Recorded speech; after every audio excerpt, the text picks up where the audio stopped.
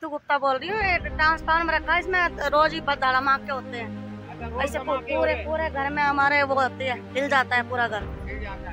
हटवाने की जरा हमने कई बार कोशिश करी लेकिन यहाँ से हटाते नहीं वो लोग।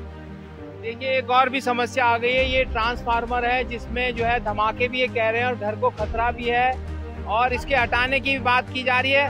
हर जगह समस्या ही समस्या तो कहाँ ले जाए किसके दरवाजे पर ले जाए ये ट्रांसफार्मर? ये कहीं भी रखवा दे बहुत जंगा है। जैसे कहाँ है आगे है इधर वो है। जब आपने यहाँ घर बनाया था तो पहले ट्रांसफार्मर था पहले आपका घर पर था? ये तो एक वो था। एक ये खम्बा था उस पे एक सूटकेस बराबर था। अब करते करते इतना हो गया अब दो भाई का है तो वो दरवाज़ा निकालने के लिए कह रहा है। तो उसके बच्चों को तो जान का खतरा है।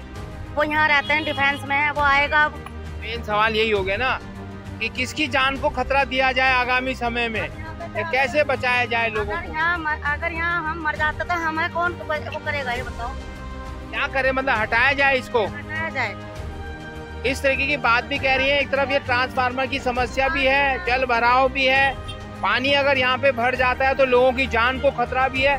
ये जो क्रमबद्ध जो समस्याएँ आ रही है तो इसका समाधान अगर क्रमबद्ध हो तो कहीं ना कहीं कहीं ना कहीं जो है बड़ी आने वाली समस्या को हम आसानी से समाधित कर सकते हैं, लेकिन पुरानी समस्याएँ जब विकराल बन जाए और उसका कोई समाधान ना हो तो नई समस्या से आदमी को कैसे राहत मिलेगी? ये बहुत बड़ा सवाल है। लोकतांत्रिक व्यवस्था में सवाल खड़ा हो रहा है कि हम पर्याप्त अपनी सड़क को चौड़ा नहीं कर पा रहे हैं, जहाँ पे जाम चलते हुए आ रहा है, उसकी समाधान नहीं कर पा रहे हैं। और आज ये स्थिति है कि लोग आवागमन में कई घंटे इस सड़क पर ही बिताने को मजबूर है।